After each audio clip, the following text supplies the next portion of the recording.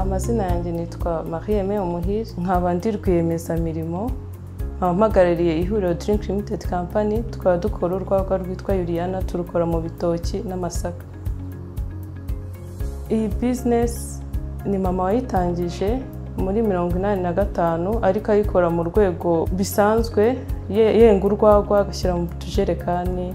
Bibiri na cumi n'umunani ni bwo narebye mbona hari aho byatuvanye hari n'aho byatugejeje. Niyemeza kumwegera. Aranyigisha.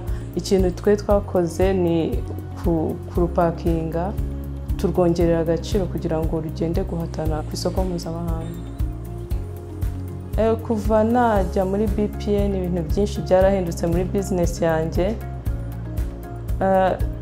Hari urwego twavuyemo kuko nayigiyemo ari bwo dutangiye gutekereza gupakinga. Bpn yamfashije kuvana ibyari biri mu mutima wanjye mbishyira hanze impa kugira icyizere impa no kumva ko byose bishoboka. Muri bibiri na cumi n'umunani ubwo natangiraga gupakinga bpn yatumye imenya abakiriya nkeneye. Aba ari bo nibandaho ntagendeye ngo uyu munsi biragenda nabi cyangwa biragenda neza bituma menya icyo nshaka mu buzima. Ikintu bpn yamfashije kuri ngewe ubwanjye ni disipurine disipurine kumenya kwitwararika kumenya ko abakozi ari njye bareberaho kumenya gukoresha igihe cyanjye neza kumenya gukora buri kimwe mu mwanya wacyo no kumenya kubana n'abantu muri rusange.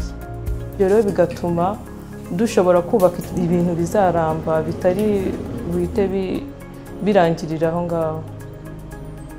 Training yamfashije cyane muri bpn ni ibintu bya finance kuko nta bumenyi nari mbifitemo.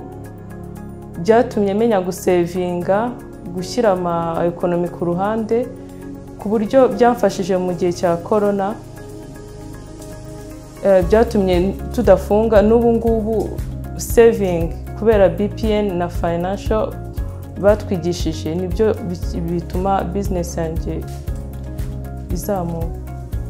Bpn aho ndi hose aba rwiyemezamirimo bose mbonye uwo mbona afite indangagaciro afite aho ashaka kugera wese murangira muri bpn